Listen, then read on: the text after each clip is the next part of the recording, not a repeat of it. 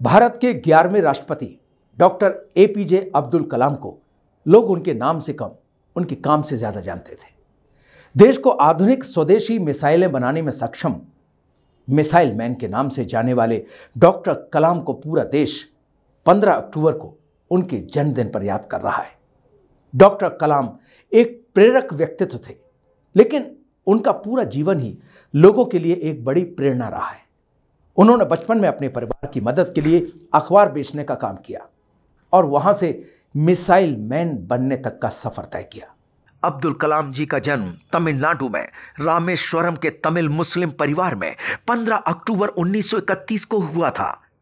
इनके पिता का नाम जैन लाबदिन था, जो पेशे से नावों को किराए पर देने और बेचने का काम करते थे। कलाम जी के पिता अनपढ़ थे, पर उनके विचार आम सोच से कहीं ऊपर थे।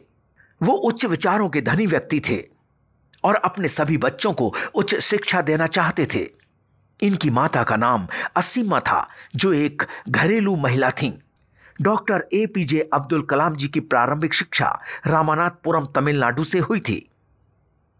स्कूल के दिनों में वो अपने एक शिक्षक से बहुत ज़्यादा प्रभावित थे, जिनका नाम आया दुरे सोलोमन था। उनके शिक्षक का मानना यह था कि ख्वाहिश, उम्मीद और यकीन को हमेशा अपने जीवन में रखना चाहिए। इन मूल मंत्रों पर काबू करना बहुत ज़रूरी है। इन तीन मूल मंत्रों के कारण आप अपने मंजिल को बिना किसी परेशानी के पा सकते हैं। इन मूल मंत्रों को अब्दुल कलाम जी ने अपने आखिरी समय तक अपने जीवन में कायम रखा। अपनी प्रारंभिक शिक्षा पूरी करने के बाद doctor A P J Abdul Kalam ने तिरुचिरापल्ली के सेंट जोसेफ कॉलेज से उन्नीस सौ चौवन में भौतिक विज्ञान में बीएससी की डिग्री प्राप्त की। इसके बाद 1955 में वो मद्रास चले गए। कलाम जी को लड़ाकू पायलट बनना था, जिसके लिए उन्होंने institute of technology in aerospace engineering में शिक्षा ग्रहण की। परंतु परीक्षा में उन्हें नौवा स्थान मिला। जबकि आईएएफ ने आठ परिणाम घोषित किए, जिसके कारण वो सफल नहीं हो पाए। स्नातक की पढ़ाई पूरी करने के बाद doctor A P J Abdul Kalam एक प्रोजेक्ट पर काम करने लगे थे और प्रोजेक्ट इंचार्ज ने रॉकेट के मॉडल मात्र तीन दिन में पूरा करने का समय दिया था। और साथ में यह भी कहा था कि अगर ये मॉडल ना बन पाया तो उनकी स्कॉलरशिप रद्द हो जाएगी। फिर क्या था? अब्दुल कलाम जी ने न रात देखी, न दिन न भूख देखी, न ही प्यास। मात्र 24 घंटे में अपने लक्ष्य को पूरा किया और रॉकेट का मॉडल तैयार कर दिया। प्रोजेक्ट इंचार्ज को विश्वास नहीं हुआ कि यह मॉडल इतनी जल्दी कैसे पूरा हो गया। उस मॉडल को देखकर प्रोजेक्ट इंचार्ज भी आश्चर्यचकित रह गए। इस प्रकार doctor A P J Abdul Kalam ने अपने जीवन में कई चुनौतियों का डटकर सामना किया।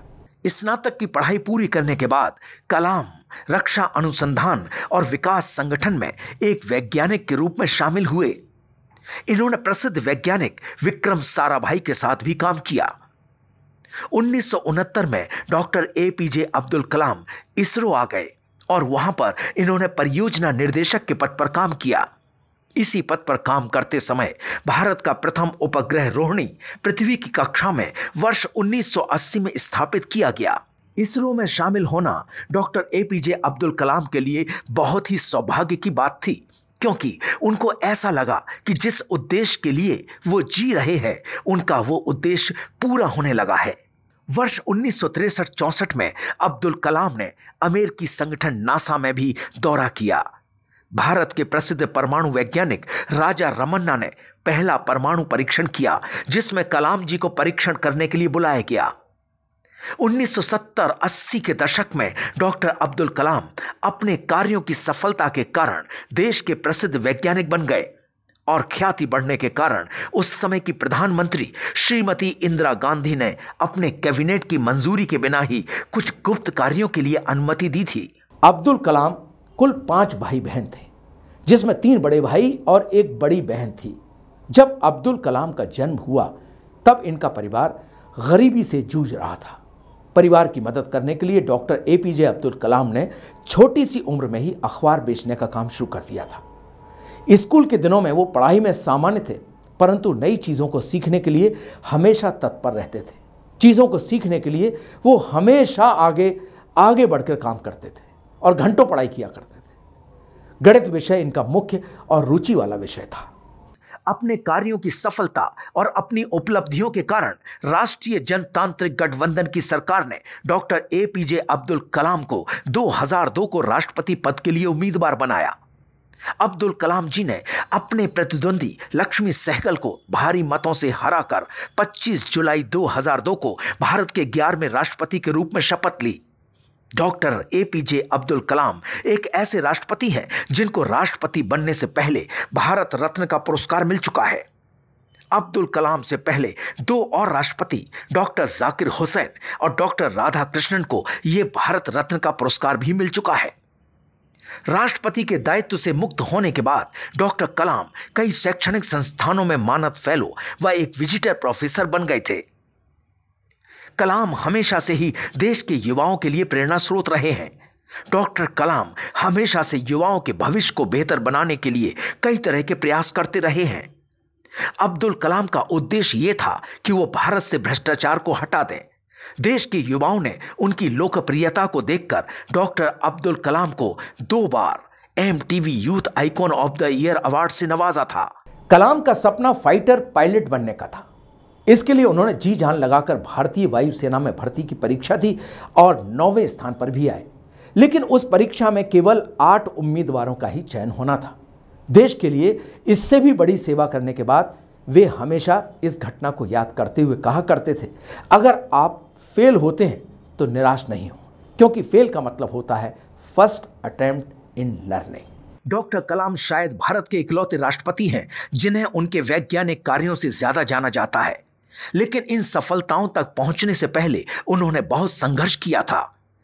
अब्दुल कलाम का जन्म 15 अक्टूबर 1931 को तमिलनाडु के रामेश्वरम में एक मुस्लिम परिवार में हुआ था। उनके पिता नाव से हिंदुओं की तीर्थ यात्रा कराते थे। बचपन में कलाम का परिवार संपन्न नहीं था, इसीलिए परिवार के लिए उन्होंने अखबार बेचने का काम शुरू किया। परिवार की आर्थिक तंगी भी कलाम के पढ़ने के जज्बे को रोक नहीं सकी। औसत अंक लाने के बाद भी कलाम की गणित और भौतिकी में बहुत रुचि रही। वे गणित को बहुत ज़्यादा समय दिया करते थे। रामानाथपुरम में स्कूली पढ़ाई पूरी कर उन्होंने त्रिशलापल्ली के सेंट स्टीफन कॉलेज में दाखिला लिया, जहाँ उन्होंने उन्नीस सौ चौवन में भौतिकी में स्नातक की डिग्री हासिल की। 27 जुलाई 2015 को डॉक्टर कलाम चौरासी साल की उम्र में भारतीय प्रबंधन संस्थान शिलोंग में रहने योग्य ग्रह पर अपना विचार व्यक्त कर रहे थे। जब उन्हें कार्डियक अटैक हुआ और वो वहीं बेहोश हो गए। लगभग शाम को साढ़े छः बजे उन्हें बेथानी अस्पताल में आईसीयू में ले जाया गया, जहाँ दो घंटे के बाद उनकी मृत्यु हो गई। 30 जुलाई 2015 को उनके पैतृक गाँव रामेश्वरम के पास उनका अंतिम संस्कार हुआ। उनके अंतिम अनुष्ठान के समय तीन लाख पचास हज़ार लोग शामिल थे। जिसमें भारत के प्रधानमंत्री श्री नरेंद्र मोदी, तमिलनाडु के राज्यपाल, कर्नाटक, केरल और आंध्र प्रदेश के मुख्यमंत्री आदि लोग शामिल थे। अगर व्यक्तिगत जीवन के बारे में कहा जाए तो डॉक्टर कलाम पूरी तरह अनुशासन का पालन करने वाले थे। कलाम जी श्रीमद् भागवत गीता और कुरान दोनों का अध्ययन करते थे। भारत को विकासशील देश से विकसित देश बनाने का उनका बहुत बड़ा सपना था। बच्चों और युवाओं के कलाम जी हमेशा से ही प्रेरणा स्रोत रहेंगे।